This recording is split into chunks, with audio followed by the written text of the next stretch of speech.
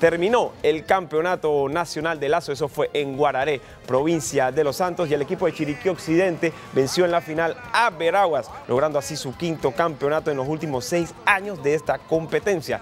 TV Max, orgulloso patrocinador de este evento, premió a los ganadores del torneo, así que Chiriquí Occidente dando cátedra.